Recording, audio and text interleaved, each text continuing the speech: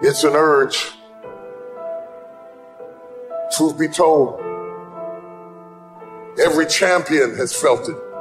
Every president has felt it. Every king has felt it. Every lion has felt it. Every winner has felt it.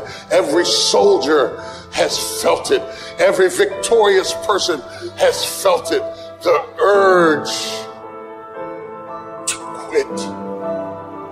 Don't you give up on your dream.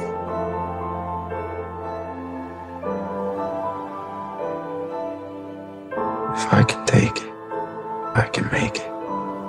If you can take it, you can make it.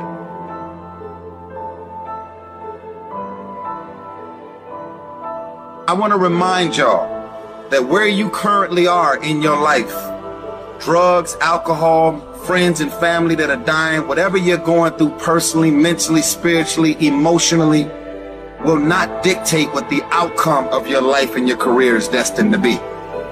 I'm asking that you don't give up. Sometimes a setback is a setup for the greatest blessings of all times. You will always grow through what you go through. I don't care if you don't have the money, you don't have the help, and you don't have the family for it, and you don't have the background for it, and you don't have the friends for it. Don't you give up on your dream. Don't you do it. Don't you do it. Don't you do it. If you can just keep believing when nothing in you is working, when all your external forces have given way, if you can just manage to somehow keep hoping, you have a chance. You just can't become hopeless. If you can just keep hope alive, you can make it. Because if you keep hoping, it is really faith. You just got to transpose it into I hope this happened to I believe this can happen. It may take you twice as long. You may have to take courses and classes. You might not read as fast. You might not move as quick. You might not have as much. But don't you quit. Don't you quit. Don't you quit. You do make a difference. As weak as you are, as tired as you are, as many mistakes as you made, you do make a difference. There is something they would lose if you were not there. There was something that they would miss if you were not there. You do make a difference. You do make a difference. Life is like a grindstone. It can polish you or it can pulverize you, depending on how you position yourself. There's one side of pain that's the suffering and the discomfort side of pain. But then there's another side of pain that's called effort. It's called glory. It's called if you can find a way to push through pain, there's something greater on the other side of it.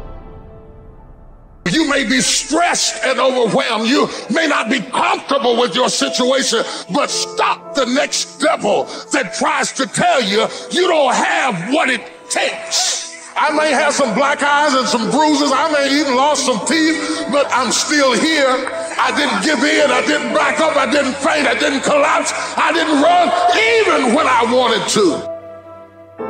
Every time you find yourself saying that you can't do something, putting yourself down, being negative about you and the possibilities for you, you've got to literally catch yourself.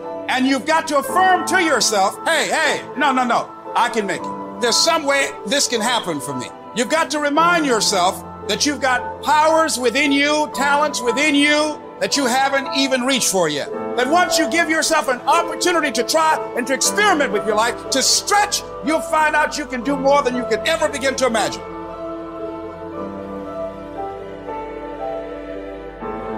I kept the faith. I kept it. I lost a lot of stuff. I lost a lot of friends. I lost a lot of strength. I lost a lot of courage. I lost a lot of time. I lost a lot of money, but I kept down on my knees. I was still believing.